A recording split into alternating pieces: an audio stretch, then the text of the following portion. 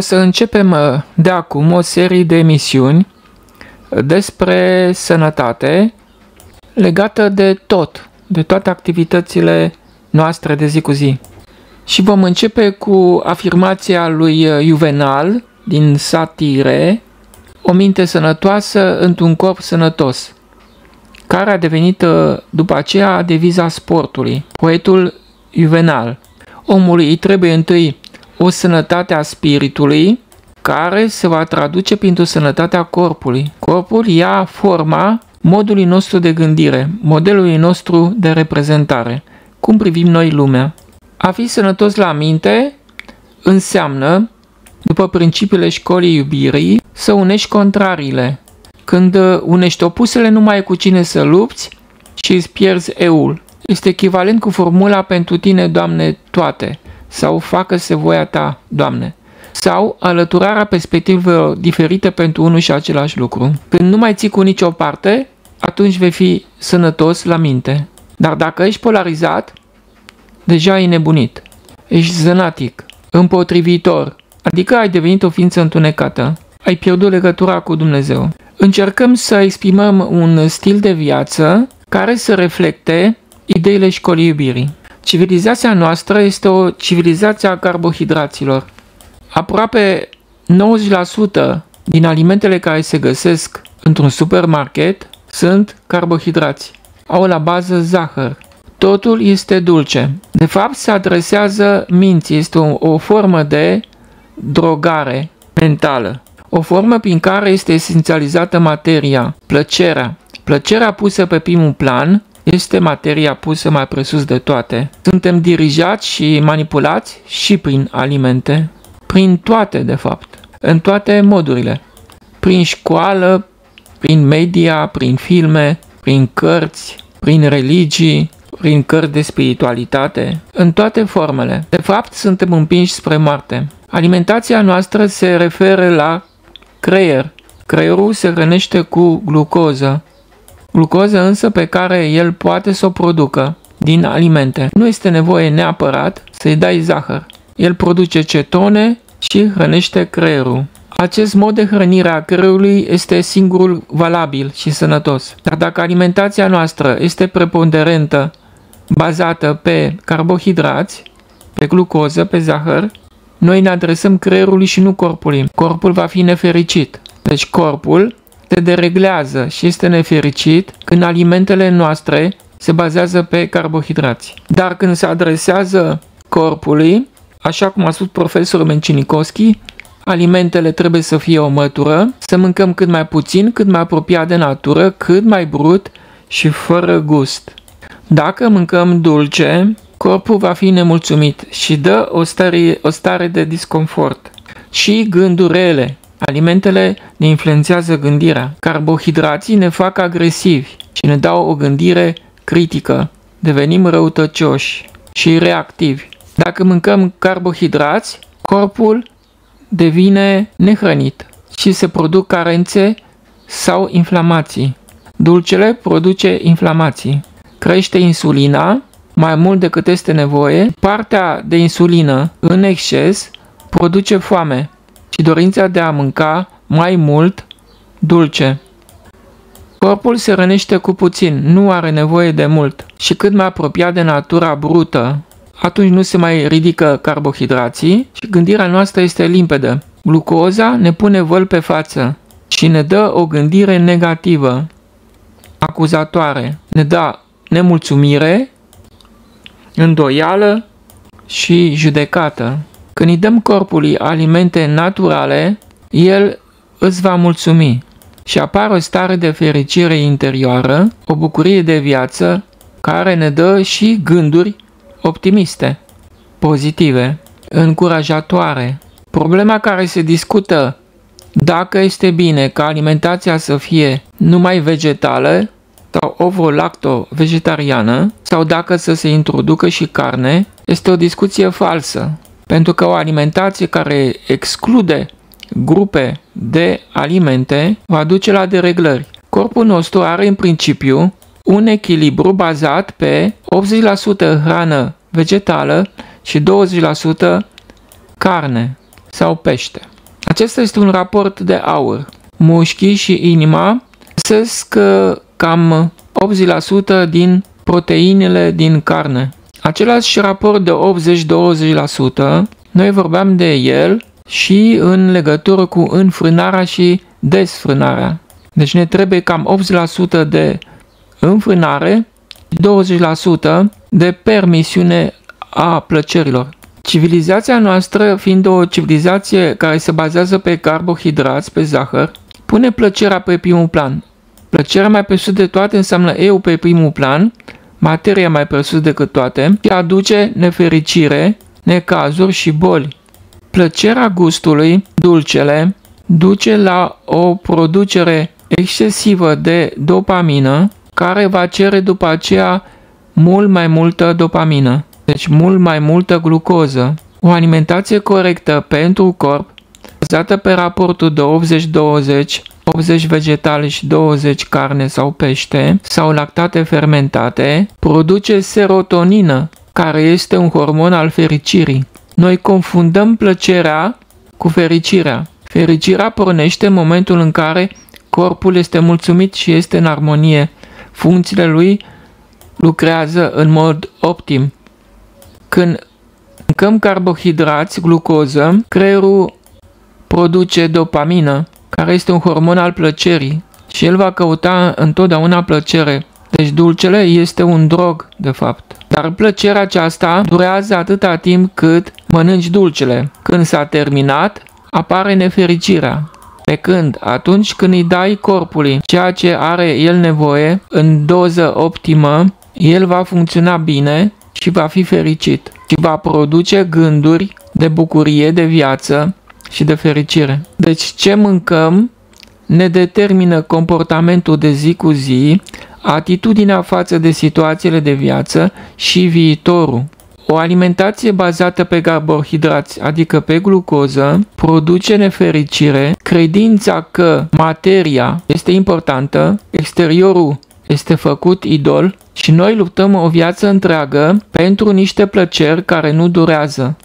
Suntem de fapt înlănțuiți, atașați de materie. Atașamentul de materie aduce nefericirea, suferințele de toate felurile și bolile și alimentația contează. Alimentele dulci bazate pe carbohidrați ne influențează gândirea și căpătăm gânduri exclusiviste, unilaterale și polarizate.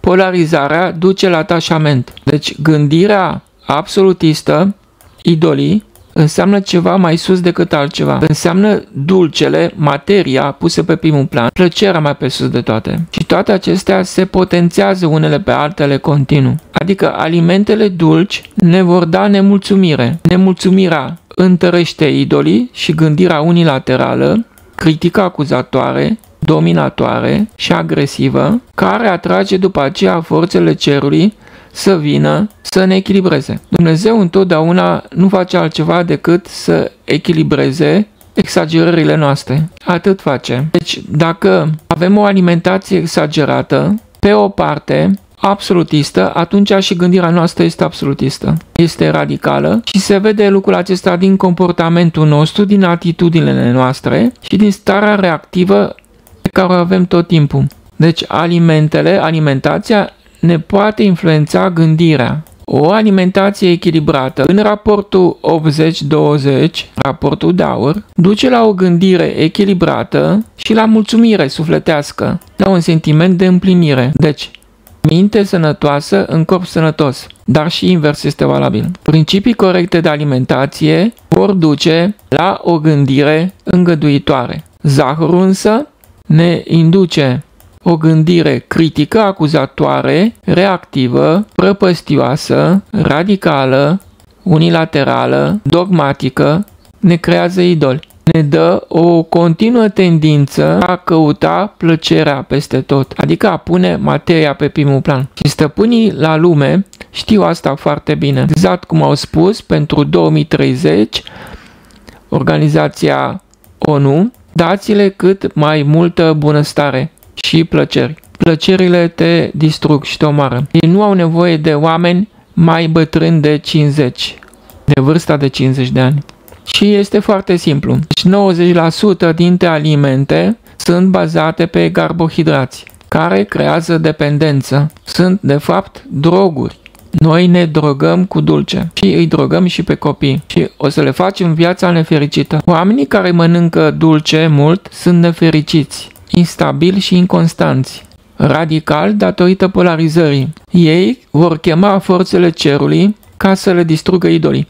Alimentația bazată pe glucoză, pe dulce, pe zahăr, creează idoli. În momentul în care omul nu o să mai mănânce deloc zahăr, el nu are nevoie niciodată de zahăr, decât dacă vrea să moară mai repede. Dacă vrea să fie sănătos, trebuie să renunțe total la toate alimentele bazate pe carbohidrați. Atunci și gândirea lui se va schimba și atitudinea lui față de viață nu o să mai fie nevoie de nefericiri, necazuri, dureri, suferințe și boli sau pierderi, pentru că nu o să mai aibă o gândire unilaterală.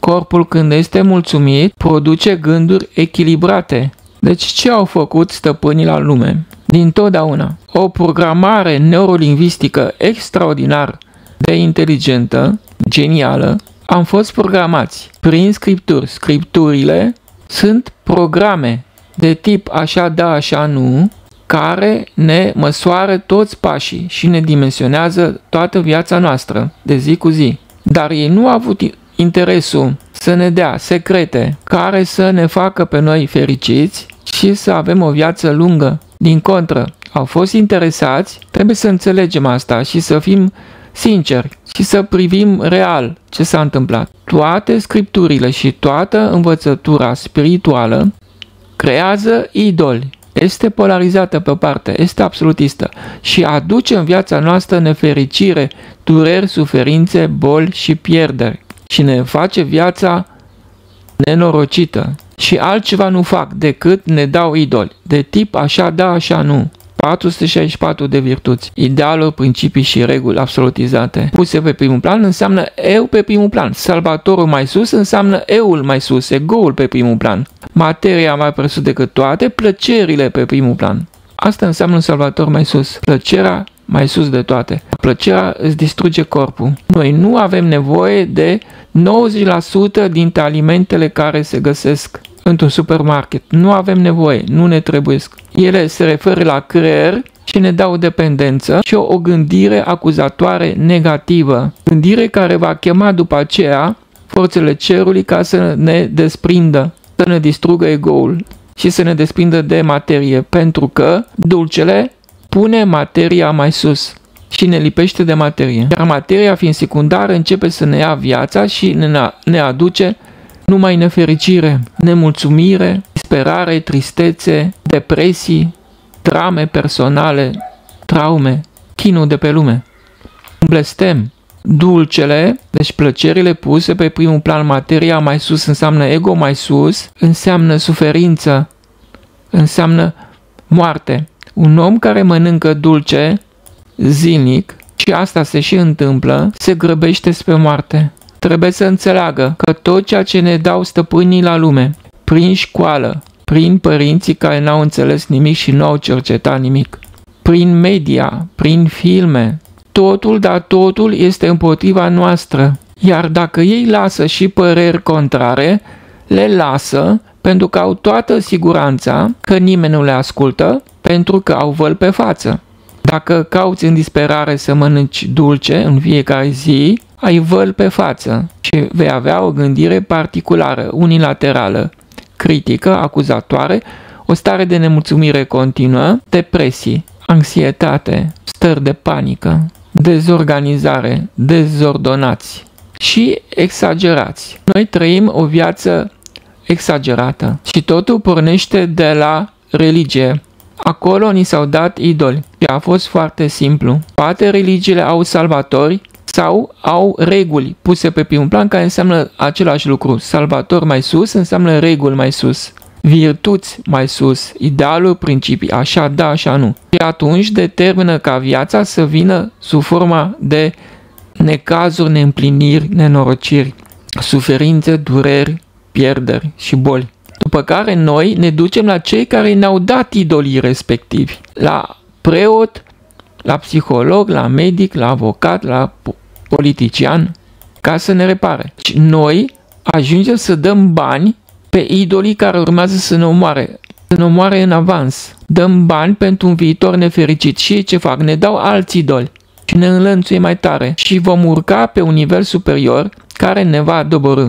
Nu bolile trebuie reparate. Bolile sunt doar peculețe roșii semnalizatoare care ne arată că suntem idolatri. Am pus lumea, materia pe primul plan și nu trebuie pusă pe primul plan. Starea noastră normală este o stare de detașare, de dezinteres de a câștiga, de a avea, de a aduna. În condițiile în care globurile cenușiu spre roșu din iadul 2 aveau o singură problemă, infinite populații de globuri cenușii aveau numai această problemă. Au fost pe pământ și s-au ocupat cu adunatul. Adunatul acesta înseamnă materia pe primul plan și ei au pierdut energie vitală pe materie. Noi am venit aici pe pământ ca în mijlocul atracțiilor vieții să nu le vrem până la nivelul în care materia și lumea dispare. Deci am venit aici ca fiecare în universul nostru să facem în așa fel încât să distrugem această iluzie a materiei, să o depășim. Când vom atinge această stare de nepăsare, de neatenție la bine și la rău, la ce formă va lua viitorul, atunci ne-am unit cu Dumnezeu. Și s-ar putea să-L cunoaștem cu adevărat, să-L auzim, să-L vedem în fața noastră sub forma unui soare de iubire, sau să vedem tot ce ne încojoară, ca ieșind din tot ceea ce există, o lumină galbenă, strălucitoare, cam de jumătate de metru și atunci vom înțelege că peste tot este numai El, este lumea Lui, e viața Lui, e corpul Lui. E toată lupta noastră pentru eu este zadarnică. Eul acesta nu există. E doar o credință repetată mii de generații. Noi am pus o etichetă negativă lui Dumnezeu, iar diavolul i-a spus bine.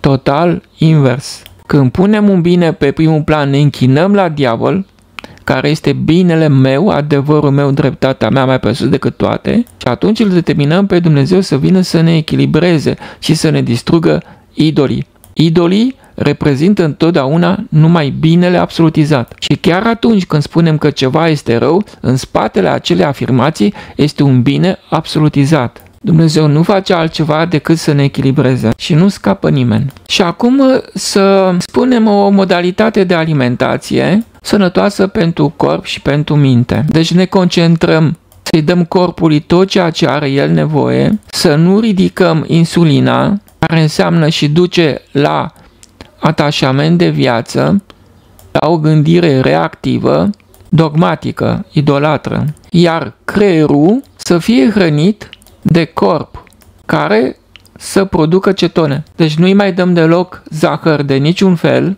și corpul va extrage din alimente ceea ce are el nevoie și va transforma grăsimile în cetone. Le va arde și le va transforma în cetone și va hrăni creierul. Deci va fi invers. Dacă alimentația noastră este preponderent bazată pe carbohidrați, de orice fel, inclusiv din fructe dulci, care au fructoză, fructoză este egal glucoză. Degeaba ținem un regim vegetarian, că tot ridicăm insulina, tot ridicăm dopamina, tot vom căuta plăcerea și vom pune materia pe primul plan. Deci fie că îi dăm corpului din afară carbohidrați și ridicăm dopamina și o să avem o gândire critică și acuzatoare, fie că mâncăm vegetale și acolo ne referim și la fructe dulci, care sunt glucoză, fructoză, zahăr, care ridică dopamina și ne dă o gândire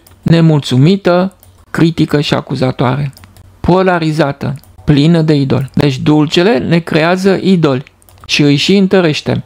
Și întărim cum? Zilnic. Mâncăm pâine, orez, cartofi, mazăre, fasole, semințe, hrișcă, patiserie, prăjituri, ciocolată, toate înseamnă zahăr. Toate ne vor da o gândire acuzatoare, idolatră și vor produce idoli zilnic. Dulcele ne produce zilnic idoli.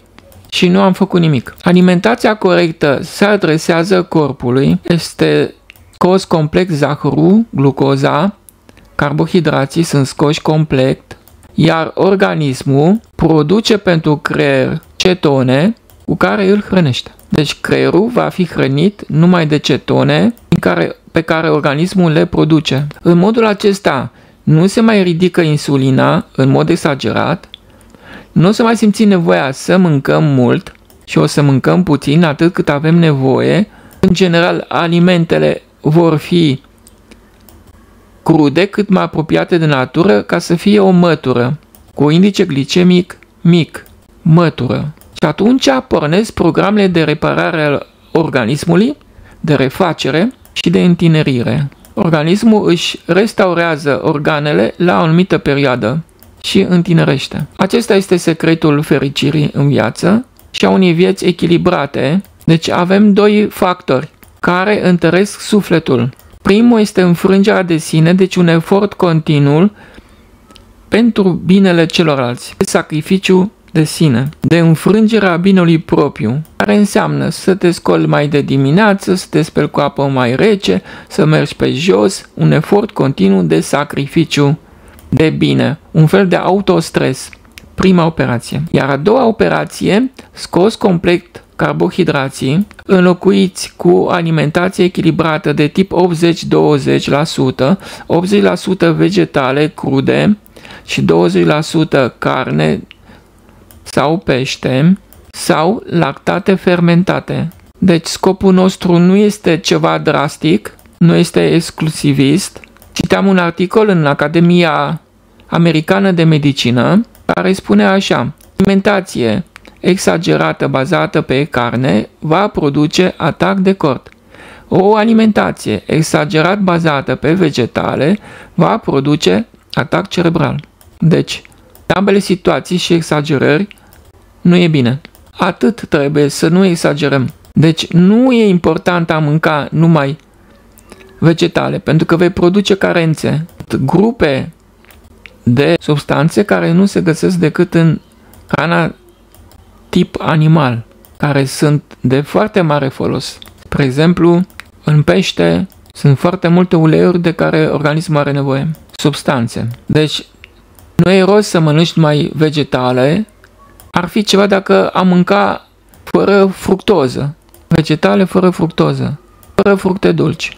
Ar fi o chestie. Mai că rămâne o carență de substanțe care nu pot fi date de plante, care vin numai de la carnea, de la carne și de la pește. Și degeaba mâncăm fructe care au fructoză, hrănim creierul și începem din nou cu o gândire acuzatoare și luptătoare, polarizată și nu am făcut absolut nimic. Și alimentația modifică gândirea. Dacă mâncăm zilnic carbohidrați, pâine, orez, cartofi, patiserie, dulce, băuturi dulci, fructe dulci, vom droga creierul și vom duce corpul în carențe. Deci asta face alimentația bazată pe carbohidrați. Văduvește corpul de substanțe și minerale de care are neapărat nevoie. Satisface repede creierul, dar corpul moare de inaniție. Nu este hrănit. Nu are ceea ce îi trebuie. Aparent arătăm frumos în afară, dar corpul are carențe. Deci alimentația bazată pe carbohidrați este o armă de omorâre de populații și de scăderea populației. Crește agresivitatea mentală, duce la atașament de dulce, adică de materie, crește egoul și atrage nefericirea și suferințe de toate felurile, pentru noi și pentru copiii noștri. Și acum niște principii generale de alimentare. Mănânci două mese pe zi, maxim, sau doar o masă, sau pauză totală de masă. Trebuie alternate. Prima masă la ora 12, a doua masă pe la ora 17-18.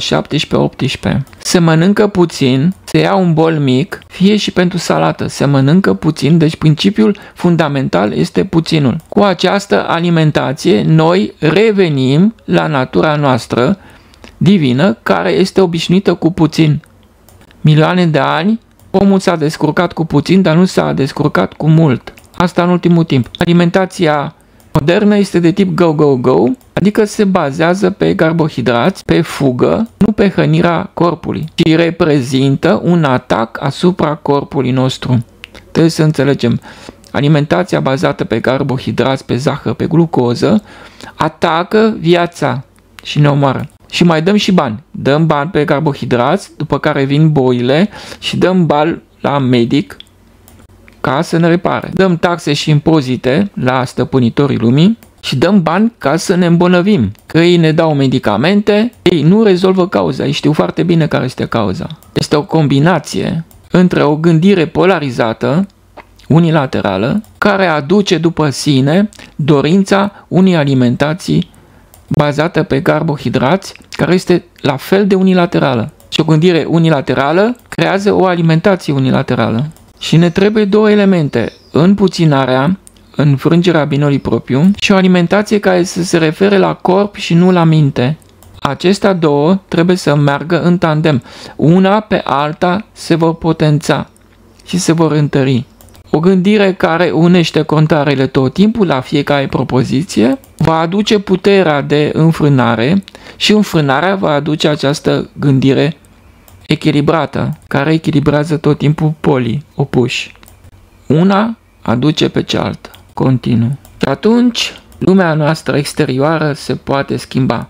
Nu altceva se întâmplă că pe oameni nu-i putem modifica, ci ei își vor vede, vedea de treaba lor, de lecțiile lor, de destinul lor, dar nu ne mai atacă pe noi. Pentru că noi nu-i mai atacăm pe ei. Îi lăsăm în pace. Finalul este să îi lăsăm în pace. Dacă unim contrariile și ne înfrângem tot timpul pe noi și ne ducem în jos în puțin, nu o să mai vrem mai mult, nu o să ne mai luăm de nimeni. O gândire unilaterală, polarizată, critică, atrage o alimentație bazată pe plăcere, rapidă, deci pe carbohidrați, și se potențează una pe alta continuu, iar corpul este văduvit de substanțele necesare și este subnutrit.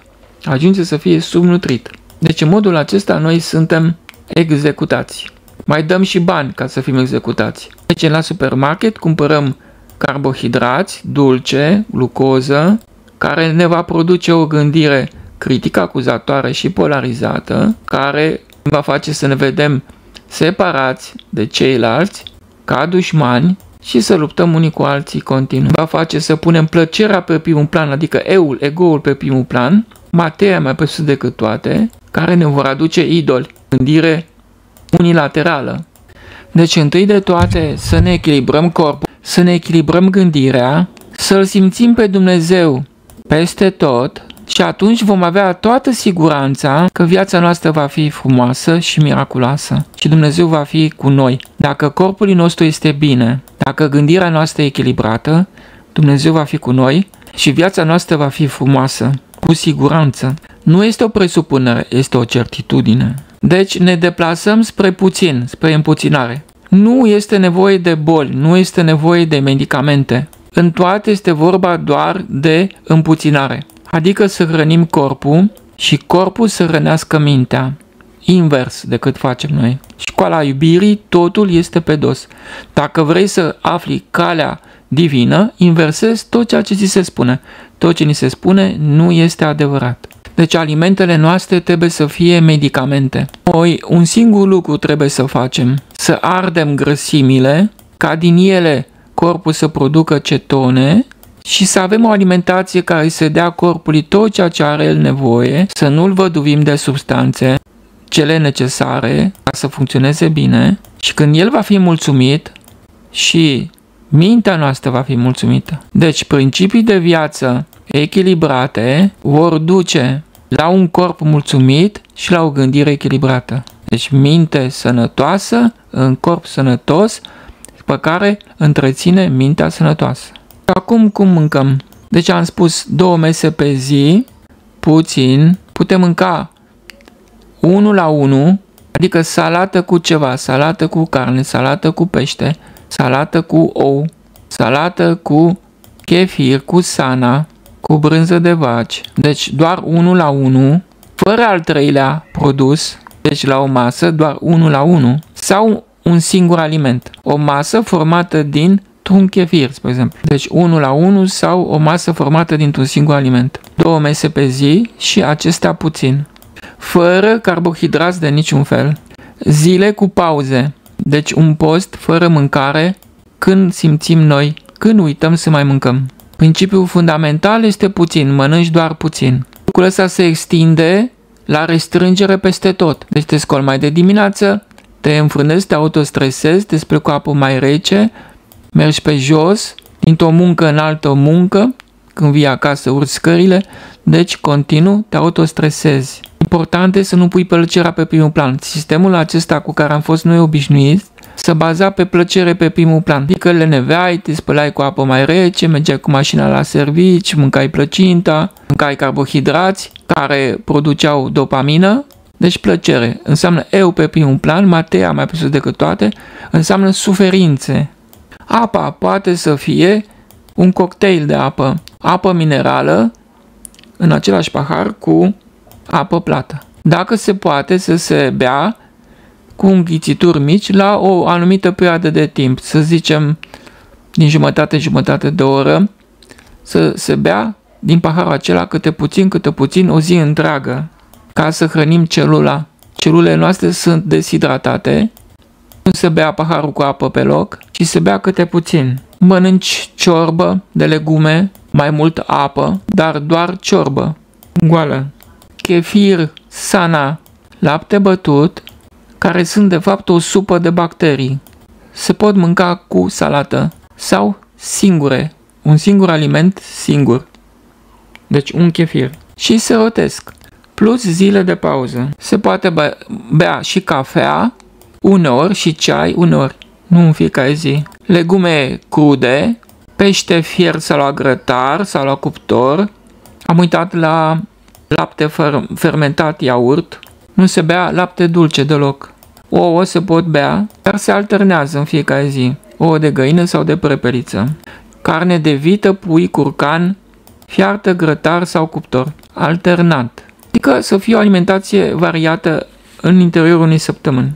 Legume proaspete, salată verde, castravei, chiridichi, varză, foarte important varza, ardei gras, gogoșar, conopidă, ciuperci, dovlecel, fasole verde, nu fasole boabe, anac, guli, țelină, ceapă, usturoi, paranghel, praz, andive, toate ierburile aromatice, mărar, pătrunjel, leuștean, busuioc, tarhon, dafin, oregano, rozmarin și toate condimentele. Puțină sare, piper, boia, iute sau dulce, scorțișoară, chimăn, curi, anason. La salate se, pot, se poate folosi oțet sau lămâie sau lime și două lingurițe de ulei sau un avocado, oțet de mere de obicei,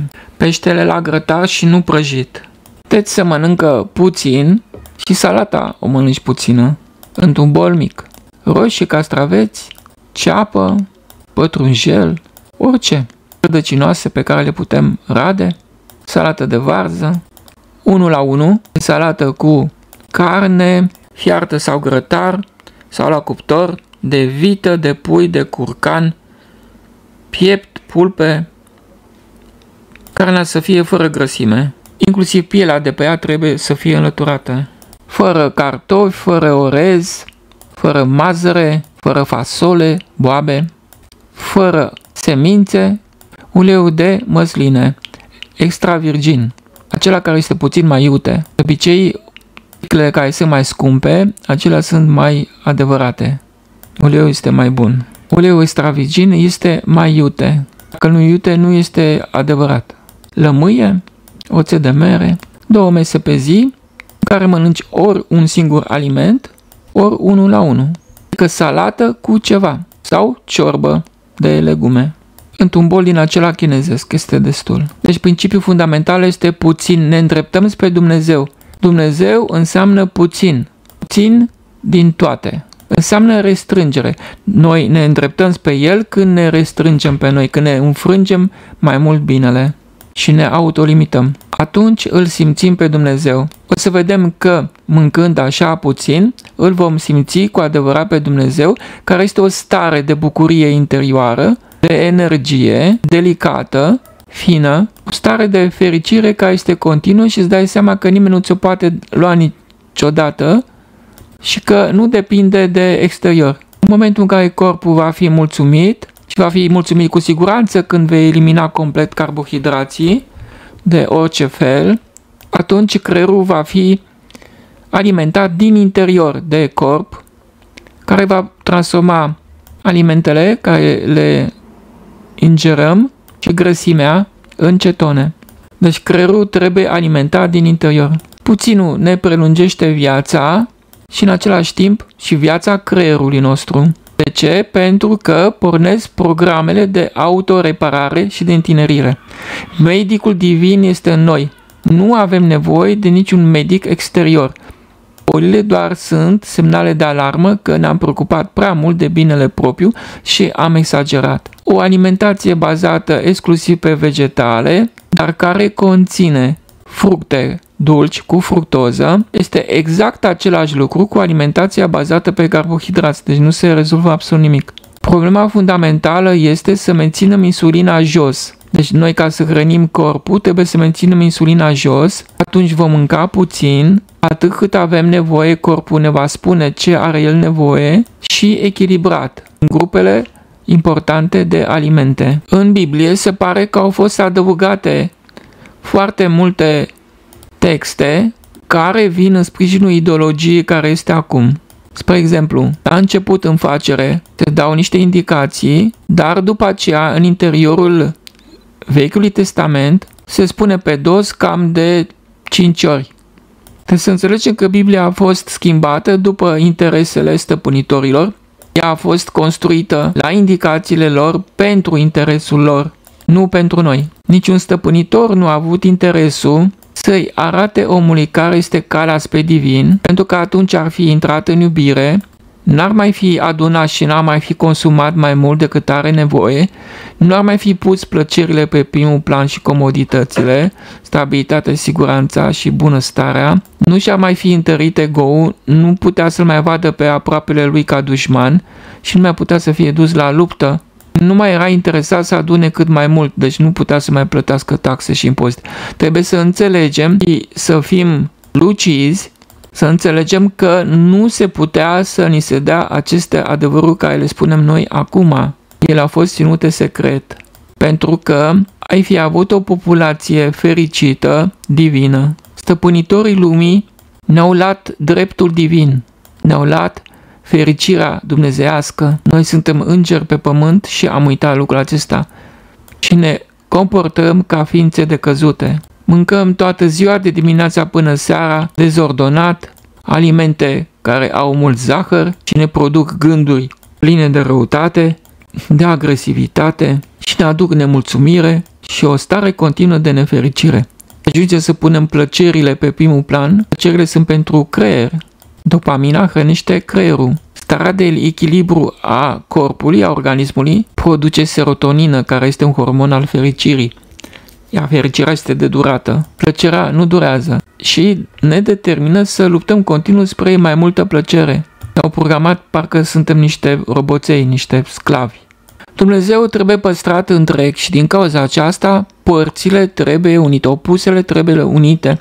Asta este o mare bucurie ce produce serotonină, adică fericire. Când ai unit opusele, vei putea să accepti viața așa cum este, oricum vine spre tine. Prin restrângere, împuținare, lepădare de sine, predare de sine, înfrângerea binelui propriu, prin acceptare, prin o stare de indiferență la bine și la rău, prin alegerea greului și neplăcutului întotdeauna, pentru că numai greu îți produce fericire. Învingerea greutăților, depășirea lor, produce fericire. Produce hormonul serotonină, care înseamnă fericire. Fără greutăți de învins, noi nu suntem fericiți. Deci, înfrânarea de sine, autostresul, produce fericire. Când stoarcem materia, o transformăm în fericire de lungă durată. în bucurie continuă. Plus că se, sting, se sting programele autodistructive care au venit de la alții. Acele programe sunt unilaterale pe o parte. Când ajungi în starea în care nu mai vezi niciun rău și niciun vinovat niciunde, acela este raiul. Până nu vom înțelege că Dumnezeu este și bine și rău în același timp, Dumnezeu nu va fi cu noi. Dacă El nu este cu noi, noi vom fi nefericiți și vom suferi. Acela este iadul. Deci trebuie ca în viața aceasta să facem tot efortul să ne înfrângem binele, să unim opusele și să avem o alimentație echilibrată pentru corp, în care nu punem plăcerea pe primul plan, atunci ego-ul nu se întărește, materia nu se pune mai presus de toate și nu ne lipim de materie și ne păstrăm în divin. Când corpul este bine, el ne va mulțumi. Înseamnă prezența lui Dumnezeu, starea aceea de mulțumire a corpului este prezența lui Dumnezeu. S-a zis că Dumnezeu este numai bine și din cauza asta El a venit numai sub formă de rău ca să ne echilibreze. Trebuie să ajungem în poziția în care să lăsăm pe Dumnezeu în pace, să nu mai vrem să-L schimbăm, să corectăm, să-i dăm indicații, să-L conducem. Să acceptăm tot ce vine din față ca venit de la El și este perfect așa cum este.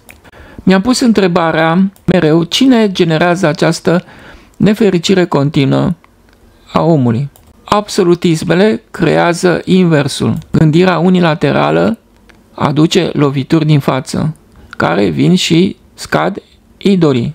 Oamenii idolatrii creează toată suferința din lume, dar idolii aceștia sunt întăriți printr-o alimentație bazată pe carbohidrați, pe dulce, care pune, care înseamnă plăcerea pe primul plan, este o, o plăcere a creierului, el se rănește cu glucoză, dar plăcerea pe primul plan va produce o gândire polarizată și critică, acuzatoare, care va atrage după aceea forțele cerului ca să ne desprindă. Gândirea aceasta acuzatoare, adică dulcele, ne leagă de materie, înseamnă materie pe primul plan, dulcele. În clipa în care noi nu o să mai mâncăm dulce, carbohidrați, intrăm în echilibru cu corpul și dispare nefericirea din viața noastră. Pentru că plăcerile pe primul plan materia mai sus înseamnă atașament de materii care va aduce nefericire. Deci ei ne dau acele elemente, idoli și glucoză și dulce, carbohidrați, care să ne producă tot timpul o suferință și o durere mai mare. Deci ei ne omoară de fapt și nu vedem. Iar la noi, binele are o conotație pozitivă, când de fapt este diavolul. Binele pus mai sus, dreptatea și adevărul meu, înseamnă diavol pe primul plan. Închinare la diavol. Plăcerea pe primul plan, dulcele pus mai presus decât toate, înseamnă închinare la întuneric. Și real în corpul nostru se produc dereglări pentru că organismul nu mai este hrănit, este subnutrit. Creierul se bucură produce dopamină, dar plăcerea nu durează decât atâta timp cât durează sursa plăcerii, pe care vine nefericirea. Este un drog. Carbohidrații sunt un drog și sunt la liber. Mergem în supermarket și 90% din alimente sunt droguri. Sunt ca să ne omoare. 90%. Apoi idolii care vin de la biserică, vin din societate, de la școală, de la părinți, de la filme de la media, totul, totul te îndeamnă spre mai mult bine pentru tine, spre plăcere. Iar plăcerea pusă pe primul plan este moarte pentru suflet. Sufletul se întărește și noi câștigăm viață, durată de viață și o viață fericită numai în momentul în care ne restrângem plăcerile și înlăturăm alimentația bazată pe carbohidrați și ne schimbăm pe o alimentație echilibrată de tip 80-20, 80% vegetale și 20% carne, care este raportul de aur, care funcționează în organismul nostru, trilioanele de celule funcționează pe acest principiu. 80% din energie o dăruiesc și păstrează pentru ele sub 20%. Deci cu această energie pe care o obținem noi, cu alimentație echilibrată pentru corpul nostru, noi o folosim ca să ne înfrângem pe noi, corpul va fi mulțumit și vei avea putere să te înfrângi pe tine, să te scoli mai de dimineață, să te speli cu apă mai rece, să nu mai ai o gândire critică și acuzatoare, să nu mai luți pentru bine și adevărul tău, să fii de acord cu toate părerile, să dai dreptate la toată lumea, să te înfrângi pe tine și comoditățile și vei avea putere să respingi plăcerile peste nevoie ale vieții. Pentru că vei avea energie. Dumnezeu va fi cu tine. Când, proporțional, eliminăm carbohidrații, ego-ul scade. Dulcele înseamnă ego, un ego puternic. Înseamnă dogmă, înseamnă idolatrie. Deci una întărește pe alta. Glucoza aduce idoli, aduce o gândire unilaterală și critică și acuzatoare, aduce nemulțumire, care va dori și mai multă plăcere ca să fie înlăturată acea nemulțumire. Deci dulcele va aduce dorința de mai mult dulce. Insulina este ridicată mai mult decât avem nevoie, insulina în surplus va cere mai mult dulce. Așa corpul nu este alimentat. Primește dulce, dar este pentru creier, dar corpul este subnutrit și nefericit și moare subnutrit. Ego-ul crește foarte mult, se atașează de materie, pune materia mai sus și binele propriu, dreptatea și adevărul lui mai presus de toate, devine recalcitrant și răuvoitor, agresiv, crud și nemilos și atrage forțele cerului ca să îl desprindă și vine fericirile tot timpul peste el. Omul care caută plăcerea, caută durerea, de fapt. Caută să moare mai repede. Dorește, cu cât dorința lui de mai mult bine pentru sine și de plăceri pentru gust, plăcut, dorința de dulce, va crește ego dar și suferințele proporțional.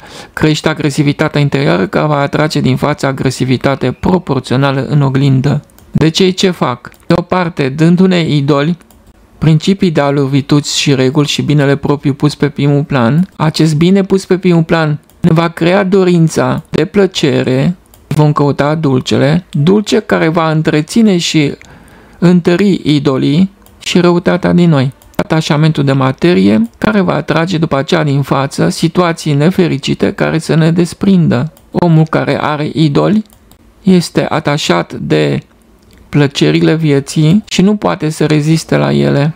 Asta înseamnă idoli, atașament de plăcere. Atunci Dumnezeu îi trimite situații dificile prin care îl va doborâ. Va doborâ idolii și poate aduce și boli, pentru că idolul acesta dulce reprezintă toți idolii la care se închină omul. El dacă reușește să înlăture idolul dulcelui, va înlătura toți idolii.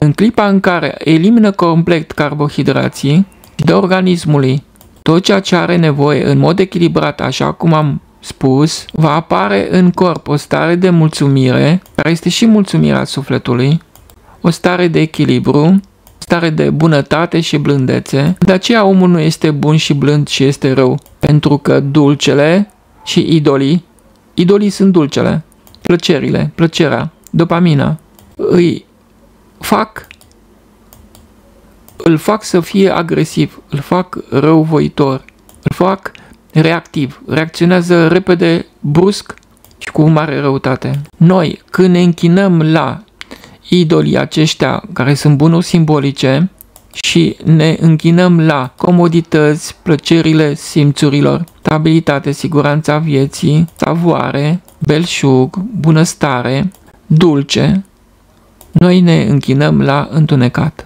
Și cu cât mai mare este forța cu care ne ținem de plăcerile vieții peste nevoi, comodități, ușor, plăcut și nu avem putere să renunțăm la ele, cu atât mai mare vor fi suferințele în viața noastră. Trebuie să știm asta dinainte. Cu cât punem noi materia mai presus decât toate, cu atât materia ne va doborâ mai puternic și Dumnezeu va trebui să vină să ne desprindă de tot ce am pus noi pe primul plan cu forța și ne va da necazuri, nefericiri, dureri, suferințe, boli și pierderi. De nu ne vedem până ne săturăm.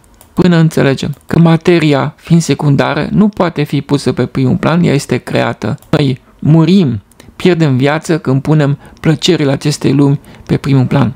Ușorul, lenea, comoditățile, siguranța, stabilitatea vieții și savoarea. Când le punem mai presus decât toate, ne închinăm la ele, ne închinăm la diavol. Acesta este satana. Binele propriu pus pe primul plan. Cei care se închină la bine, ei zic că sunt morali, dar Dumnezeu îi va pune să facă pe dos, să-și distrugă singur idolii sau vor fi distruși din față. Omul care pune plăcerile vieții pe primul plan, comodități, gust plăcut, dulcele, va atrage nefericiri în viața lui. Poți să știi înainte cum va fi viața următoare. Se omoară singur și vin suferințe în toate modurile posibile. El trăiește o stare de pericol continuu, o stare de nemulțumire, de tristețe, de depresie, de anxietate, de mârnire, de mânie, de furie, de ură continuă. Orice îl poate irita, oricând poate sări la bătaie, la luptă, la apărare sau la ceartă. Și totul pornește de la religie. Oamenii sunt indiferenți, nu cercetează, ci pentru că pun plăcerile pe un plan au văl pe față. Poți să le spui tu orice adevăr din lume, nu-l va auzi, nu-l va crede, nu-l va înțelege, pentru că sunt surzi și orbi. Idolii și plăcerile vieții, dulcele, le pune văl pe față. Și dacă corpul tău este mulțumit și dacă mintea ta nu este nebună și exagerată și dacă purtarea ta este înfrântă și înfrânată, nu poți să greșești. Dumnezeu este cu tine, fiind jos de tot în puțin, are loc unde să vină minunea, miracolul și va veni cu siguranță și cu siguranță viața noastră va fi frumoasă. Te uiți la un om și vezi dacă se oferă și sare în ajutorul celuilalt care este în greutate și nu stă să le nevească și nu știe ce să facă ca celuilalt să fie mai bine, acela cu siguranță va avea o viață frumoasă și va fi fericit în viață. O relație, ca să fie frumoasă și fericită, amândoi trebuie să meargă unul spre altul continuu, să se ofere, să se ajute unul pe altul continuu și să nu știe ce să facă ca celuilalt să fie mai bine. Să-și lase tot timpul binele pentru celălalt. Un fel de îndrăgostire continuă o viață întreagă. Un sacrificiu continuu pentru celălalt. Aceasta înseamnă iubirea. Și te uiți la un om și dacă vezi că nu sare în ajutorul celorlalți, când își apără lena comoditățile și plăcerile, acolo va fi nefericire. Cu siguranță. Se poate ști dinainte totul. Omul mănâncă dulce ca să acopere nemulțumiri, ca să întărească idolii. Întotdeauna dulcele întărește idolii. Când nu mai mănânci dulce, atunci idolii mor. Deci dulcele întărește gou și aduce nefericire și suferință în viață. Trebuie să ne ferim de acest dulce continuu.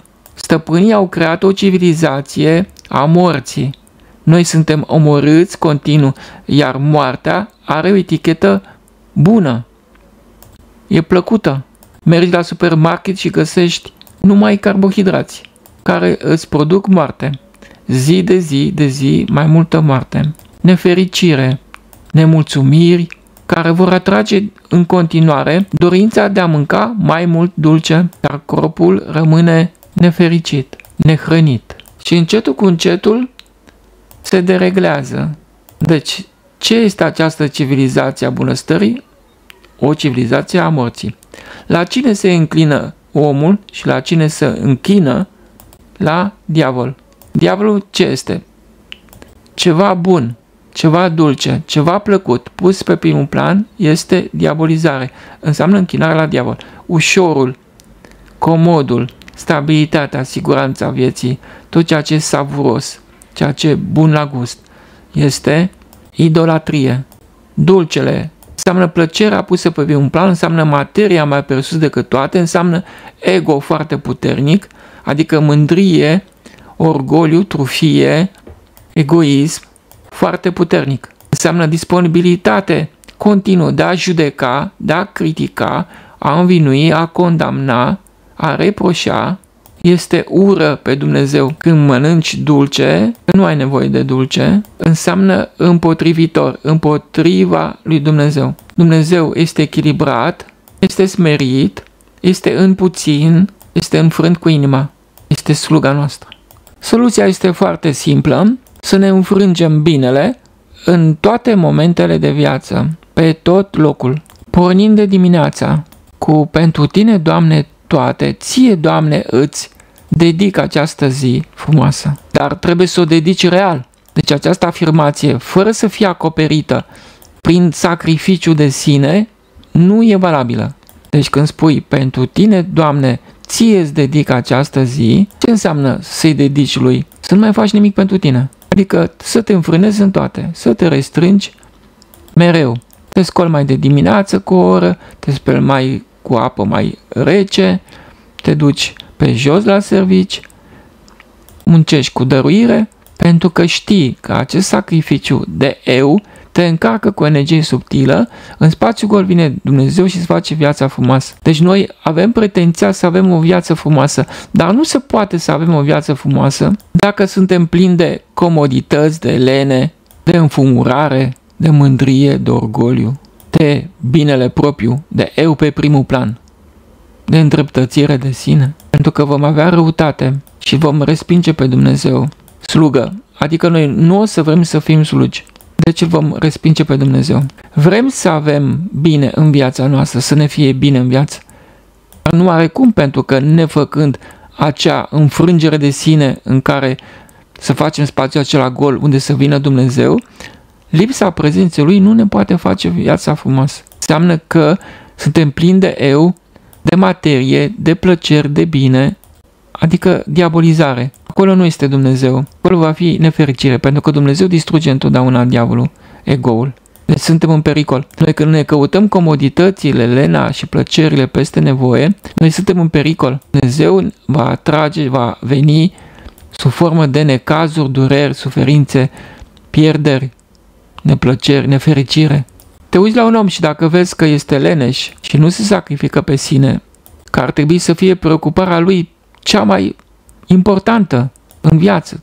Să nu știe ce să facă ca tot timpul să se opună binelui său. Să nu-i fie bine. Atunci când materia este stoarsă, ea este transformată în bucurie.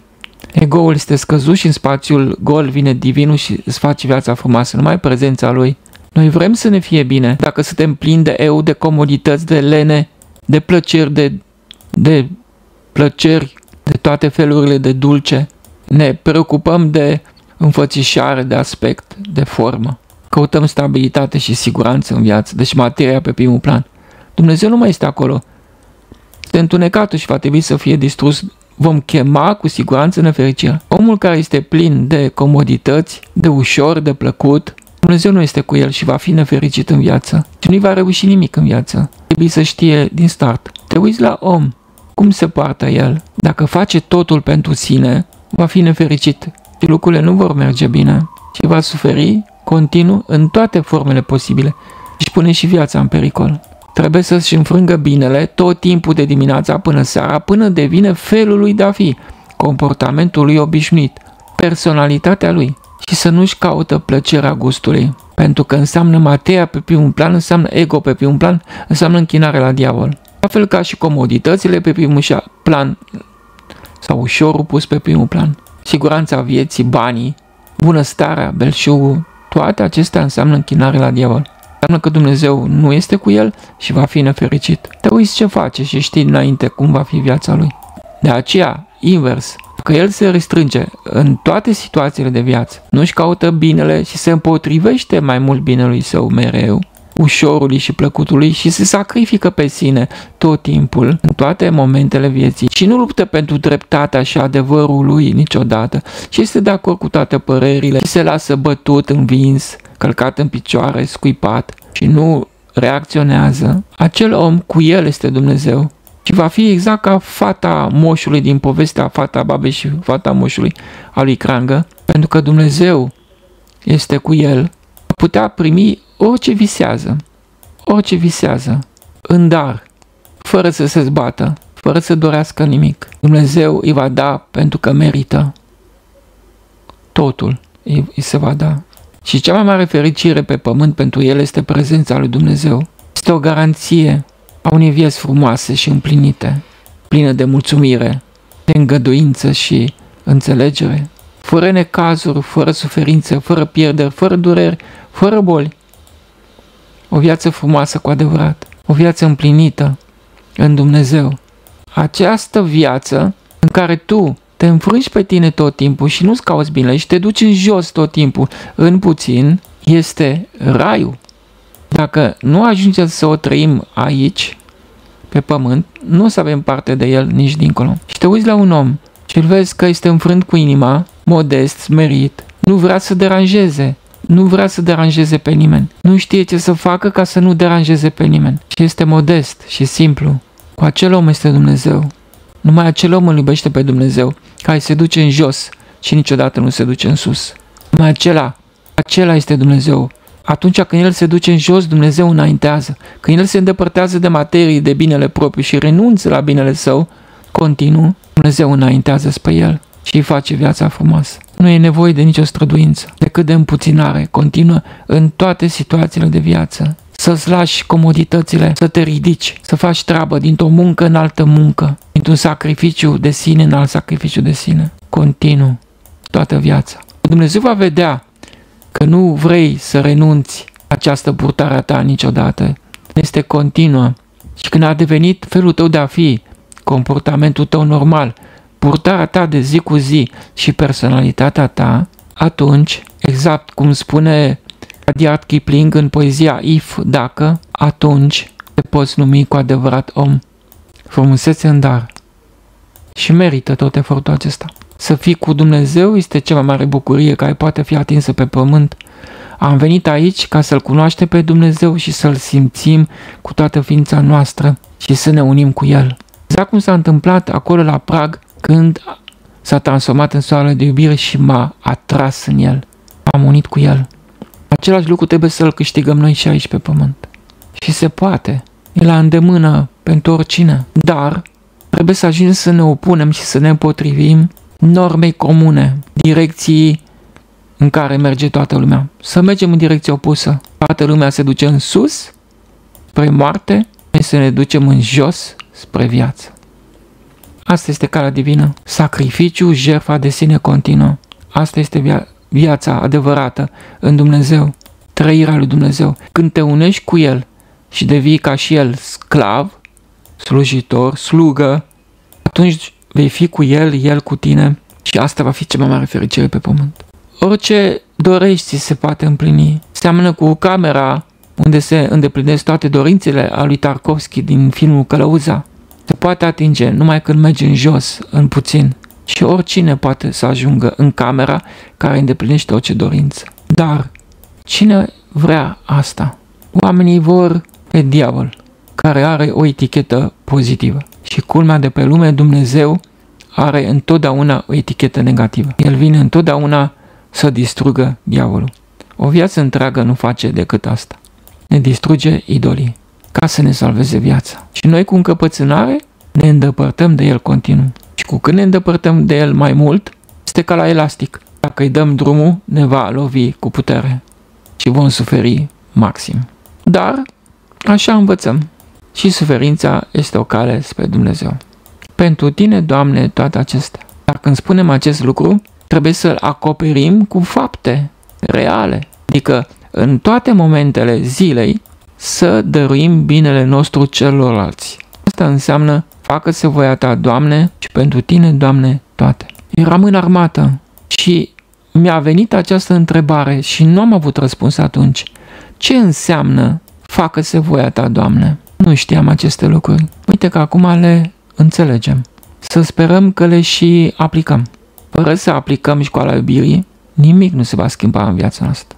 Deci degeaba zicem pentru tine, Doamne, toate, ție îți dedic ziua aceasta, facă-se voia ta, pentru că dacă real, în fiecare din momentele vieții, nu ne lăsăm binele, asta înseamnă pentru tine, Doamne, toate, adică nu pentru mine, ci pentru tine. Dacă nu facem lucrul ăsta real, nimic din viața noastră nu se poate schimba. Și Dumnezeu trebuie cucerit și nu e nevoie să rămânem la nivel teoretic. Cel mai important este să fie trăit, să-l trăim, să ne lăsăm pe noi în toate situațiile de viață, în mâna Lui.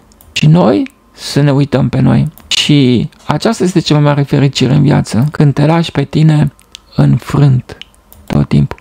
Când nu vrei să câștigi, când nu vrei să ai dreptate, când nu vrei să aduni, când te mulțumești cu puțin, pentru că puținul nu ți-l poate lua nimeni niciodată, nu pleacă niciodată de la tine și nu poți să-l pierzi. Nu poți să pierzi ceea ce nu ai. Când nu ai materie, atunci îl ai pe Dumnezeu. Cu cât te îndepărtezi mai mult de lume, cu atât înaintează Dumnezeu mai mult spre tine. Asta este calea divină, a unei jerfe continue de sine, a unui sacrificiu continuu a binului propriu, o cale de împlinire, de mulțumire, de încântare, de bucurie a vieții. Să fie Dumnezeu cu tine este cea mai mare bucurie și fericire care poate fi atinsă pe pământ. Uite, la împuținare, organismul începe să se refacă, are toate mecanismele în el. Medicul divin este în noi. Nu are nevoie de nimic din afară, este o înșelare, este o minciună. Trăim într-o minciună continuă. Toată lumea ne minte. Noi nu avem discernământ să stăm, să socotim, să judecăm, să cântărim, să cercetăm. În momentul în care ne căutăm tot binele, în toate modurile posibile, ne trezim cu boli de lungă durată, care ne distruge acest atașament de materie și ne curăță sufletul. Sunt boli ale bătrâneții, demență, Alzheimer, deprimare, ansietate, depresie. Toate sunt boli de prea mult bine pentru sine. Și s-au cercetat cauzele acestor boli. Și s-a observat că atunci când creierul este bine, pornesc procesele de degradare. Același lucru este și cu corpul, și cu mintea noastră, și cu creierul nostru. Când creierul este bine, pornește autodistrugerea, pentru că starea de bine este echivalentă cu moartea, înseamnă îmbătrânire, înseamnă un semn pe care îl dai vieții că ești bătrân. Starea de bine este cel mai periculos lucru care există în lume și în viața noastră. Starea de bine înseamnă un semnal că nu mai ești viabil, că nu meri să trăiești. Și dai în semn naturii că vrei să mori. Starea de bine este o chemare a morții. Închinarea la bine bunăstare, comodități, stabilitate, ușor și siguranța vieții și savoare este închinare la diavol. Înseamnă chemarea morții. Înseamnă că ești bătrân. Și atunci procesele de degradare pornesc automat și de destrămare a vieții. Se destrămă viața. Înseamnă că nu mai meriți să trăiești. Și care ar fi soluția de oprire acestor fenomene de autodistrugere, care sunt de fapt o sinucidere? Inele Dulcele și plăcerile vieții peste nevoie, ușorul, te duc la sinucidere. Creierul și corpul se sinucide. În caută comoditățile, lenea, plăcerile peste nevoie, se sinucide. Se omoară singur. Înseamnă că nu vrea să trăiască. Este un semnal pe care îl dă vieții că nu vrea să trăiască. Îmbătrânit și nu mai vrea să trăiască, se oprește. Nu mai are scop în viață. Asta și vin depresiile și deprimările și anxietatea să distrugă acest mai mult bine pentru noi. Și soluția este înfrânarea. Înfrânarea este singura modalitate prin care pornesc procesele de autoreglare și reparare ale creierului. Dar asta înseamnă să nu mai mănânci dulce. Dacă mănânci dulce, continuu zi de zi de zi, procesele de dereglare și de autodistrugere nu mai pot să fie oprite dacă sunt zi de zi de zi. Repararea pornește din clipa în care oprești dulcele, oprești comoditățile, ușorul și plăcutul. Renunți la bunăstare, renunți la mai mult bine pentru tine. Respingi atracțiile și fericirile acestei lumi, le respingi. Nu le vrei. Spui nu la ele. Când îți este bine, te-ai ridicat și ai plecat. Când îți este comod, când îți este ușor, alegi greul. Greul îți dă viață, ușorul îți ia viața și plăcutul. Peste nevoie. De aceea spuneam, pornești cu înfrângere de sine și nu fie teamă că Dumnezeu la un moment dat îți va pune văl pe față și te va odihni El singur. Dar majoritatea oamenilor caută desfrânarea, o pun pe primul plan, și atunci Dumnezeu trebuie să vină sub formă de boală, nefericire, dureri, suferințe, ca să ne oprească desfrânarea. Pentru că pe materie, pe desfrânare se pierde viața. Deci, tot ceea ce căutăm noi în viață, bunăstare, belșug, comodități, dulce, plăcut, ușor, stabilitate, siguranța vieții și savoare, ne omoară. Pentru că înseamnă îmbătrânire, înseamnă că nu mai avem vitalitate, înseamnă că nu mai vrem să trăim. Asta este semnalul pe care îl dăm vieții. Și de vreme ce zi de zi ne căutăm plăcerile, noi murim. Murim cu fiecare lene, cu fiecare plăcere, fiecare apă mai caldă, fiecare drum cu mașina la servici, cu fiecare fugă de muncă, cu fiecare fugă de greu, fiecare alegere a ușorului și plăcutului peste nevoie, noi murim. Deci această civilizație este de fapt un cult al morții. O civilizație în care oamenii sunt omorâți în toate formele posibile. Este un atac prin programe autodistructive, prin idoli, un atac mental, conceptual și un atac pe viață, prin ușor, comodități, plăcut, dulce. Este un atac asupra creierului, asupra corpului, asupra minții noastre. Este un atac general, un război general asupra vieții împotriva omului. Ne-au luat înțelegerea faptului că suntem divini, suntem îngeri pe pământ, nu știm decât să iubim. Ne-au dat salvatori, ne-au dat idoli, am pus materia pe primul plan, ego-ul nostru mai presus decât toate și ne-au dus la luptă. Asta au făcut prin scripturi și au reușit.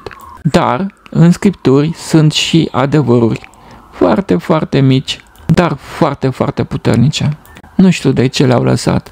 Poate Dumnezeu le-a lăsat. Dominanta, 99%, prezintă idolatrie, adică ceva mai sus decât altceva.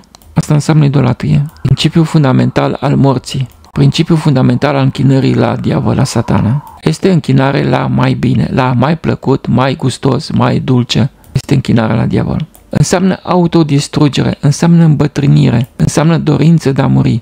Și culmea de pe lume, mai dăm și bani. În bani să murim, plătim idolii care ne distrug, de cauză nu se ocupă nimeni niciodată, că pierde energie vitală în foarte multe moduri pe bine, pe starea de bine. Acesta este dușmanul nostru, acesta este diavolul. Starea de bine. Ce înseamnă iubire de Dumnezeu? Să alegi greu, întotdeauna să te împotrivești la binele tău. Asta înseamnă iubire de Dumnezeu. În toate situațiile de viață, zi de zi, de dimineața până seara, să nu știi ce să faci ca să te împotrivești la binele tău, să nu-l vrei. Să nu vrei comoditatea, să nu vrei lenea, să nu vrei plăcerea, mereu să spui nu la ceea ce este mai plăcut și îți place ție. Să spui nu la ceea ce depășește necesitatea, la ceea ce este exagerat, la ceea ce este prea mult. Asta înseamnă să iubești pe Dumnezeu și să alegi viața. Omul când alege plăcerea și o pune pe primul plan, materia mai sus de toate, își întărește ego adică diavolul întărește și alege moartea. Plăcerea peste nevoie înseamnă moarte, înseamnă suferință. Un regim de viață în care în toate situațiile omul s-a înfrânt pe sine și a înfrânt comoditatea, a refuzat plăcerea și ușorul, a ales greul, dificilul, incomodul, el a ales viața, l-a ales pe Dumnezeu. Asta înseamnă închinarea la Dumnezeu. A ales modestia, a ales simplitatea, smerenia, s-a dus în jos și nu în sus, a ales să nu aibă haine mai multe decât are nevoie, a ales să stea într-o casă mai mică, a ales să mănânce mai puțin, a respins dulcele, atunci l-a ales pe Dumnezeu. Respingi dulcele, îl alegi pe Dumnezeu. O hrană fără dulce, o hrană care împlinește corpul, îi aduce mulțumire, este nutritiv pentru corp, îl hrănește și îl întărește. Această concepție de viață echilibrată, deci minte sănătoasă, face ca și corpul să fie echilibrat și împlinit și ne dă gânduri optimiste, pline de speranță, de optimism, de încredere pentru că Dumnezeu este prezent în puțin. Cum să nu fii optimist? Cum să n-ai siguranță că viața ta va fi frumoasă? Când Dumnezeu este cu tine, ai toată siguranța că totul va fi bine și Dumnezeu va fi cu tine. Când ești înfrânt cu inima, Dumnezeu nu te va urgisi. E o promisiune a Lui. Este o siguranță. Nu este o părere, nu este o presupunere, ci este o certitudine. Dumnezeu este cu tine, nu te mai ia la țintă cu săgețile lui. Altfel te va lua la țintă. Când ești despărțit de el, adică te preocupi numai de tine, numai de binele tău, te desparți de el, atunci te va lua la țintă cu siguranță.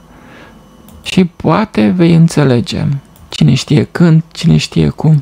După mii de jertfe de sine, Dumnezeu a venit la Solomon și a spus, iată-mă, ce dorești. Se poate și noi să ajungem la această, acest moment. Am trecut prin situații din acestea extraordinare, excepționale, miraculoase, fără să știu că voi ajunge acolo. Am explicat în cărțile scrise cum se ajunge în această situație. ce trebuie să facem. Am trăit așa cum am scris. Am făcut exact ceea ce am spus. Ceea ce am spus, am spus din experiență. Așa am făcut. Acestea au fost rezultatele miraculoase. Și oricine poate să ajungă aici. În prima emisiune la televiziune pe care am avut-o la Antena Stars, am fost uh, întrebat de ce nu poate oricine să ajungă să aibă asemenea experiențe și am spus, am răspuns că oricine poate să ajungă în asemenea situație, să cunoască această lume sensibilă, să trăiască miracolul prezenței lui Dumnezeu, dar trebuie să facă două operații foarte neplăcute. Prima operație este să-și înfrângă întotdeauna binele, să nu-și caute binele niciodată. A doua operație, să-și dea binele celorlalți. Să se lase pe sine mereu înfrânt, să fie ca un slujitor, ca o slugă pentru oameni, fără pretenții, fără așteptări, fără să doască nimic pe la, de la ei, să muncească gratuit, fără răsplată, fără să primească nimic în schimb. Degeaba. Aceasta este calea divină. Atunci, în spațiu gol, vine Dumnezeu și va face viața frumoasă. Eu și acum, când vorbesc, privesc schițe, desene. Cuvintele toate au în spatele lor mișcări fizice, reale, exprimate prin desene. Gândesc în imagini, nu în cuvinte. De aceea, toate lucrurile acestea sunt adevărate, sunt reale. Așa se întâmplă, nu fac de altceva decât să descriu ceea ce văd. Deci cuvintele scrise în aceste cărți și vorbite în aceste mii de, șapte mii de filme au acoperire în mișcări reale de purtare de comportament care duc la rezultate. Deci văd rezultatele. Dacă se urmează aceste îndrumări, cu siguranță se va ajunge la rezultate care le-am expus aici. Nu există niciun dubiu. Această purtare am avut-o și eu și m-a dus la această înțelegere și la aceste experiențe extraordinare. Este o învățătură de bun simț, echilibrată, de bună măsură a lucrurilor, inspirată de sus, nimic nu a venit de la mine, nimic. Toate cuvintele au venit de sus și reprezintă o formă de statornicie, de stabilitate, siguranță divină, mai presus de fire, reală, cu acoperire realitate, pentru că dacă te apuci să le practici, vei obține cu siguranță rezultate, fără îndoială. Și viața noastră se poate schimba, destinul nostru se poate schimba, cum nici nu am crezut, cum nici nu ne închipuim. Și ar putea să ajungă să fie de o frumusețe pe care noi acum nu putem să ne o închipuim. Și prezența lui Dumnezeu să-L simți cu tine, în tine, alături de tine, făcând totul pentru tine, ajutându-te în toate, este cea mai mare bucurie care poate fi atinsă pe pământ, cea mai mare fericire în cer și pe pământ, pentru care merită tot sacrificiul de pe lume să-l facem. Nu am mai avea nicio grijă. Am fi așa ca pe pilot automat. Toate lucrurile am observat că se potrivesc perfect în fața noastră. Îmi da seama că trăim într-o lume perfectă. Lumea lui este perfectă. Totul, ar totul este foarte potrivit. Și nu ne rămâne decât să admirăm. Și vom înțelege poate cu adevărat că acest corp este corpul lui, trăim în lumea lui și este viața lui și că nimic nu poate să fie greșit din tot ceea ce face el. Mai ego nostru zice că e ceva greșit când ceva nu-i convine. Idolii noștri se revoltă, dar calea adevărului, calea divină, nu se poate obține decât dacă te împotrivești continuu la toți idolii tăi. Când renunți, nu te mai înclini în fața lor, nu-i mai respecti, nu mai iei în seamă, nu-i mai aplici. Nu accepti viața așa cum este cu plus și cu minus, ajungi la o formă de detașare, fel de nepăsare la un rezultat fericit în viitor. Că e bine, că nu e bine, ți este indiferent. Care este starea, de fapt, de prezența lui Dumnezeu. Dacă noi nu atingem această stare de grație aici, în viața aceasta, și nu ne străduim să o aflăm, riscăm totul pentru că noi am venit aici pe pământ pentru dincolo, pentru poziția pe care o să o ocupăm dincolo. Și să înțelegem, cu cât suntem mai apropiați de Creator, cu atât avem mai multe grade de libertate, dar înseamnă lipsă de presiune, lipsă de suferință. Cu cât suntem mai la distanță de creator, adică mai apropiați de materie, suntem în pericol. Suntem în pericol cu adevărat. Când omul se duce spre înfățișare, spre aspect, spre frumusețea exterioară, spre formă, se duce spre siguranță, stabilitatea vieții, spre a avea, spre a aduna, spre mai mulți bani, spre putere exterioară, spre siguranța și stabilitatea vieții. Când caută dulcele și plăcutul, savoarea sau ușorul, el se îndepărtează de Dumnezeu, se îndepărtează de rai și se apropie puternic de iad. Să știe asta cu siguranță. Știe, să știe.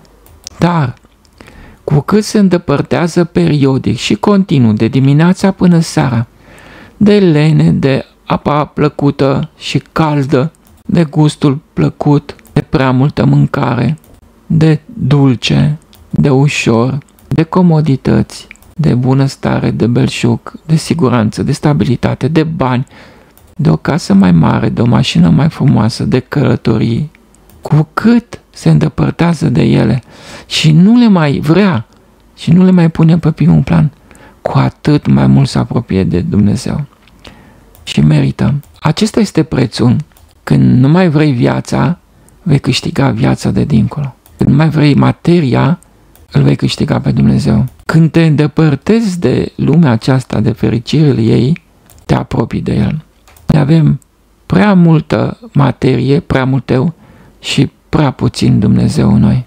Dar și calea aceasta egotică este cale divină, duce la El prin suferințe maxime și este o viață periculoasă, oricând ne putem pierde viața. Și este foarte greu de scăpat de acest idol, de acest bine pus pe primul plan. Forța, puterea cu care noi respingem idolii și mai binele, plăcerile peste nevoie, ușorul și dulcele, este forța ascensională în lumea de dincolo. Deci noi trebuie cu luciditate, cu atenție, cu hotărâre să ne concentrăm și să înțelegem că în fiecare moment al vieții noi ne stabilim în poziția pe care o să ocupăm în lumea de dincolo. Fiecare moment al vieții contează. Deci fiecare înfrângere a binului propriu contează și ne urcă, înaintăm, ne înălțăm. Cu fiecare înfrângere a binului propriu, a lenii, a ușorului, a plăcutului și a comodului, noi ne apropiem mai mult de Dumnezeu și ne îndepărtăm de, de lumesc și uman, de lume, de materie. Cu cât te îndepărtezi mai mult de materie, cu atât vine fericirea care nu se termină niciodată la tine. Crește serotonina, care este o fericire de lungă durată. Plăcerile acestei lumi produc dopamină, care este doar o plăcere de scurtă durată. Nu e fericire. Noi confundăm fericirea cu plăcerea. Dar plăcerea nu este fericire de durată. Plăcerea nu durează. Fericirea de durată se obține numai în momentul în care ne refuzăm plăcerile, adică nu mai pierdem energie subtilă pe materie. Spune asta foarte clar în Noul Testament, cine va căuta viața, deci plăcerile ei, o va pierde, deci plăcerile vieții ne pierd viața.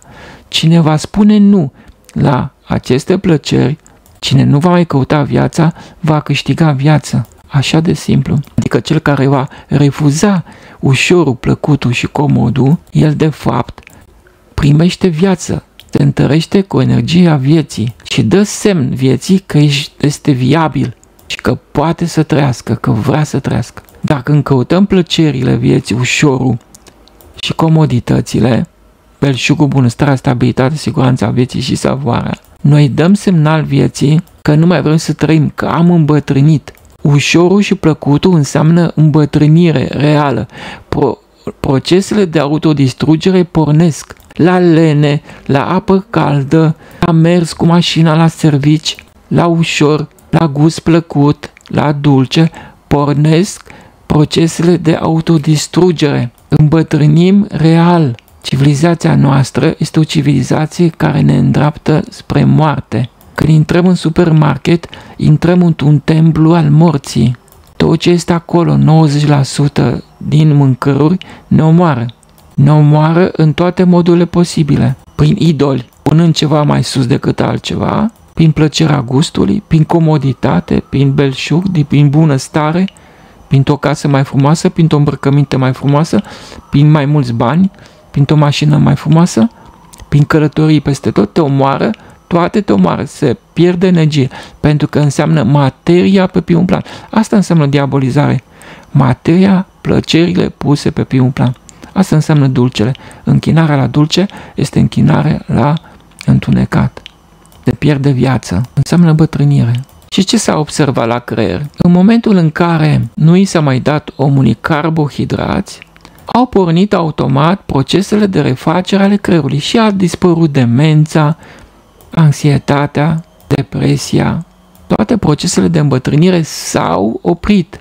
Și ce mare lucru s-a făcut? S-a oprit dulcele s-a oprit plăcerea, s-a oprit comoditatea, s-a uh, oprit investiția în formă și aspect, s-a renunțat la o casă frumoasă, la o mașină frumoasă, s-a renunțat la mai mulți bani decât avem nevoie. Deci, în toate locurile pe unde se pierde energie, s-a oprit pierderea de energie și au început procesele de refacere ale organismului. Așa se înlătură și cancerul și orice boală și orice nefericire din viața noastră Așa se înlătură, prin înfrânare, în oprire de la dulce și înfrângerea binului propriu și a comodităților și ușorului. Și numai așa.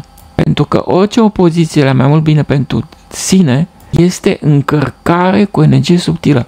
Este golire de sine și gol de tine însuți și cel mai tare. Este înălțare. Cu cât te îndepărtezi de materie și o refuzi, cu atât te apropii de Dumnezeu și El vine spre tine. Și miracolul vine la tine. Atunci orice vis ți se poate împlini. Asta, asta este secretul. Deja începi să te apropii de camera care ți deplinește orice dorință. Trebuie un gol. Gol de tine însuți ești cel mai tare. Și s-a făcut și experiența aceea cu șoricei.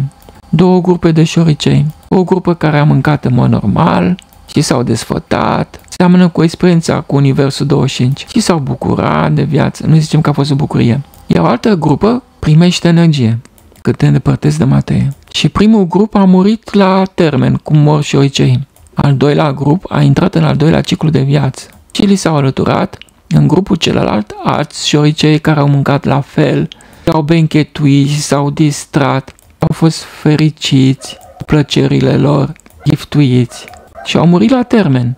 Mor toți șoricei care au de toate. Dar grupul acela al doilea nu mai murea și a intrat în al treilea ciclu de viață și experiența s-a oprit, pentru că riscau să trăiască cine știe câte cicluri de viață. Deci, împuținarea, restrângerea îți dă viață. Împuținarea de la orice dă viață. Satisfacțiile peste măsură, comoditățile și ușorul îți iau viața și te omoară, pentru că înseamnă că dai semn vieții că ai îmbătrânit și că nu mai vrei să trăiești.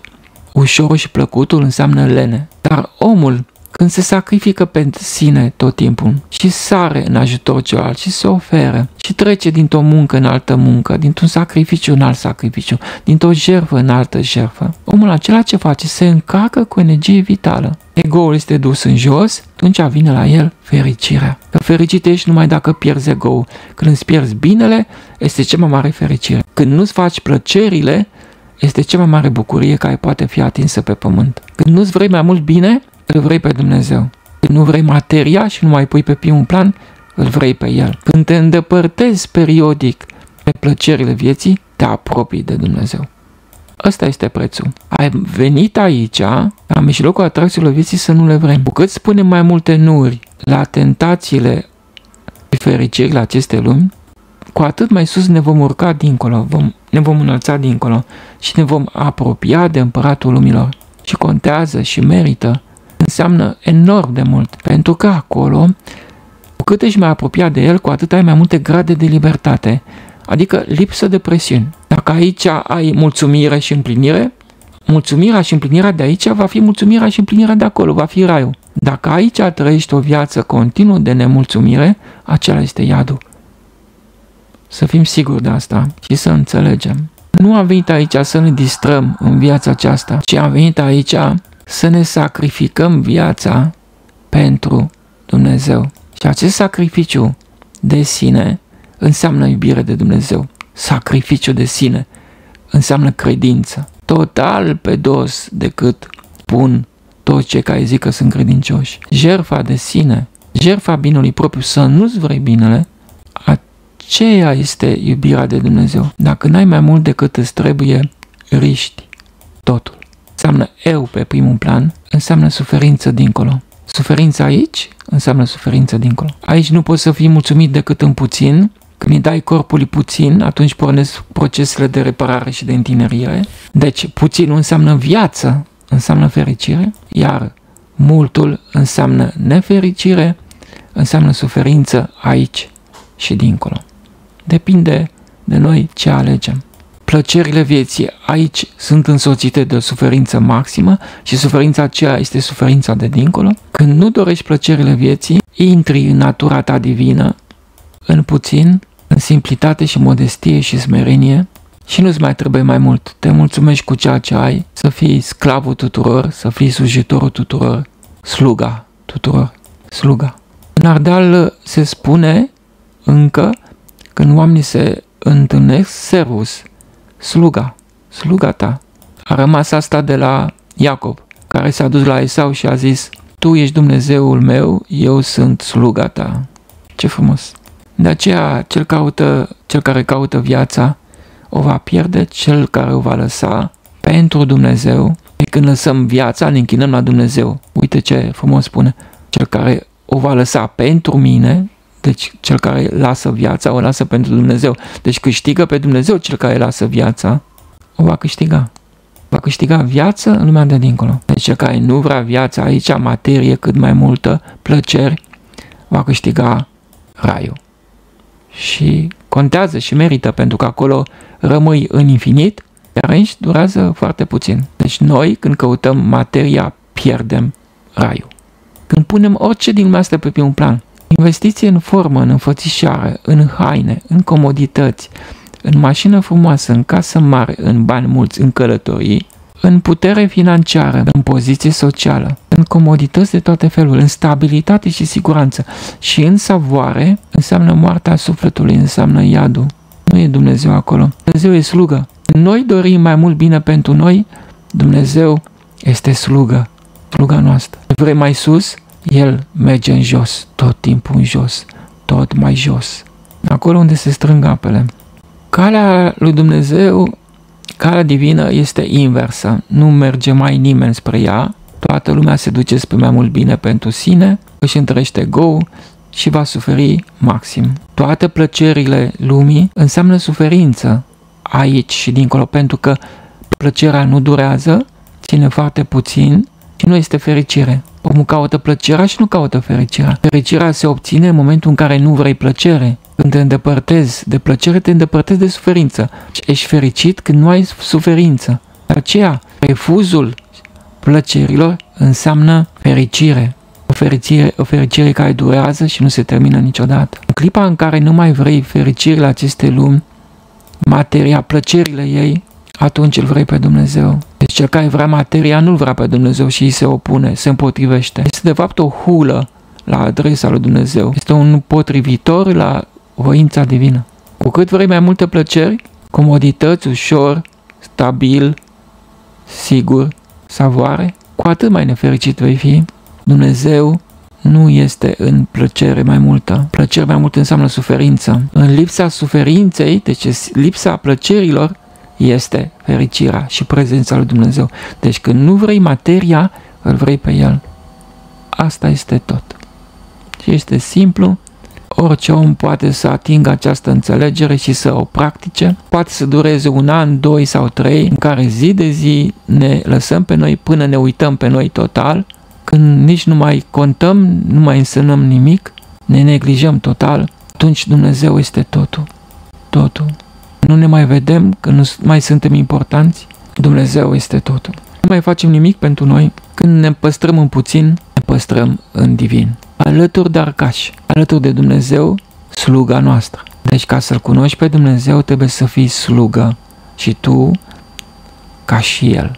Și așa te unești cu El, numai când ești slugă. Fel și o relație frumoasă nu poate să existe decât dacă unul este sluga celuilalt. Dacă doar unul servește pe celălalt, celuilalt îi crește orgoliu și mândria, adică va trebui să sufere. O relație fericită este o relație în care amândoi sunt sluga unul altuia. Slugi. Mai slugile sunt în divin, acolo sus, în rai, la prag, numai slugile ajung, numai robii, numai servitorii. Cum depinde fiecare ce vrem și unde vrem. Dacă vrei materia, nu-L vrei pe Dumnezeu. Materia este secundară. Dumnezeu va veni împotriva ta tot timpul ca să te desprindă. Și noi încăpățânați ce suntem, ne ținem strânși de materie. Cu cât ne ținem mai strânși, cu atât vom fi desprinși mai cu forța. Și nimeni nu scapă de asta. Fericire înseamnă să fii detașat de lumea aceasta, de materie, de lumesc și uman, desprins, dezinteresat, neatent, să nu o iei în seamă și să nu faci nimic pentru ea, pentru materie. Să nu o aduni, să nu vrei să o câștigi, să fii neglijent, să nu o iei în seamă, nici să nu te gândești la ea. Nu te gândești la materie, atunci te gândești la Dumnezeu. Când nu vrei lumea, atunci îl vrei pe El. Când te degajezi și să te distanțezi de materie, te apropii de divin. Te apropii de rai. Acesta este raiul. O stare de desprindere totală. Și merită să facem tot efortul să ajungem jos. Să nu vrem mai sus. Să ne ducem tot, tot mai jos și mai jos.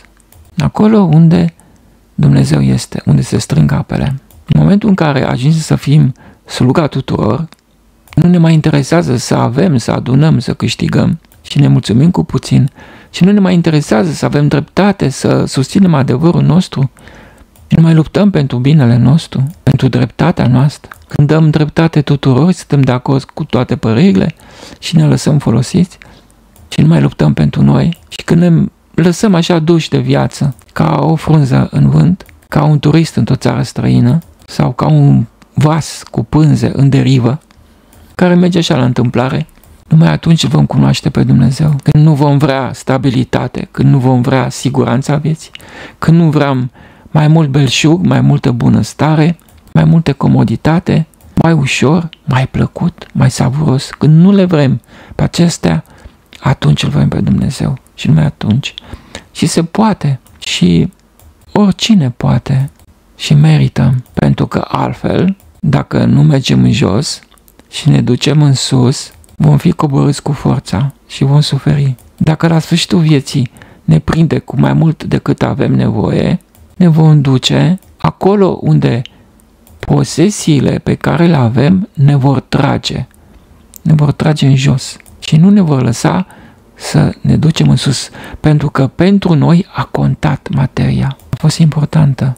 Cine va dori viața, cine va dori pe Dumnezeu, nu va căuta materia și plăcerile ei, ci le va lăsa, va renunța la ele, se va împotrivi lor, real, în viața de zi cu zi. Și această împotrivire la mai mult bine pentru sine este înălțare, este fericire, este prezența lui Dumnezeu, este cea mai mare bucurie care poate fi atinsă pe pământ. Este frumusețe în dar. Este frumusețe în dar. Și pentru asta merită tot sacrificiul de pe lume. Asta înseamnă iubirea de Dumnezeu. Când nu iubești materia, numai atunci iubești pe Dumnezeu. Și numai atunci. Când nu iubești lenea, când nu iubești ușorul, mai plăcutul, comodul, siguranța, stabilitatea și savoarea, atunci îl iubești pe Dumnezeu. Fiecare din acestea trebuie să le refuzi și să te împotrivești lor, să nu le vrei. Cu cât te îndepărtezi mai mult de ele, și le respingi, cu atât mai mult te apropii de divin și merită tot efortul. Și vei atinge ce? Frumos. La sistemul de alimentație propus am uitat să adaug că se poate mânca și fructe, dar doar un fruct la o masă, ă, dar nu dulci. Adică, spre exemplu, fructe de pădure, ă, mere, verzi, care nu sunt așa de dulci, deci nu fructe dulci. Și tot așa, un fruct la o masă. Deci o masă, un fruct.